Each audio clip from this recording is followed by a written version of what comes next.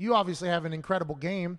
You just a couple weeks ago, I believe you had to leave the bubble, and we were all very obviously very worried because we had just talked to you. We had just sent you uh, not a great assortment of candies, but I guess there wasn't a lot of options down there.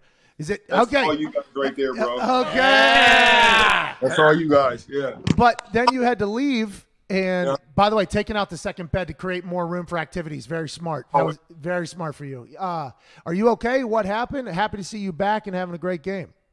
Nah, uh, it's crazy. Um, so I, I basically was having like these weird kind of chest pains. It was like after the game, I was I was uh I was eating, and I was going to sleep, and I started feeling like almost like a it felt like like heartburn, but then it just started getting way way worse, and then it's I kind of got like debilitating like chest pains. Damn. So I called. I I called the other team doc and he came and checked me out. And then I was like, no, I need to go to like the fucking ER. Like something's wrong. And so I went there, tested. We did a whole bunch of uh, you know tests on like the heart, EKGs, all that other shit.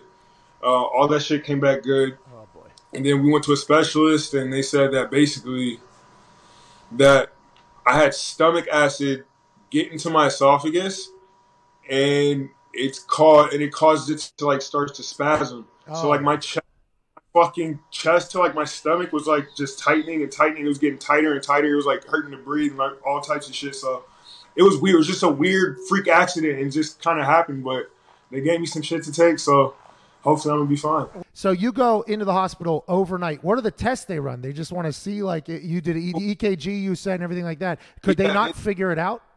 they did some blood work. They did a bunch of blood work. They did um they put an EKG to me. Um after that it kind of just was they giving me IVs, asked me a ton of questions. Um but pretty much like everything was just coming back normal. So they were like, okay, maybe we're just gonna send you to a specialist. It was like a um a gastric specialist or something like that. And um he was kind of like I was describing my symptoms to him, and he was kind of telling me, okay, this is probably what happened. I can give you something for it. And then he actually gave me medicine for like the actual like spasm. So if I ever start having that again, it would be something to take the pain away. Uh, this has never happened to you before, yeah?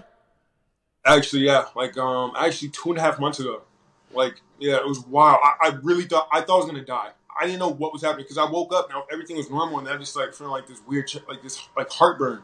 And then I was going to my um, me and my wife were going to her friend's house, and just on the way I was like, yo, something's wrong. Like I couldn't stop. Like I couldn't sit still. I was just tripping. Like my chest was hurting. It was just got it got really bad. I was like in a fetal position in the car. And she had to pull over. I was like on the side of the road, just like like on the ground. It was bad. Damn. Gotta- Well, I'm happy you're all right. I'm happy we figured this out so you get some medicine so you don't have to be in a fetal position ever again. I mean, uh, is- Ever again, it was bad. It lasted like the pain was constant. It was probably for like maybe an hour and a half. oh, man.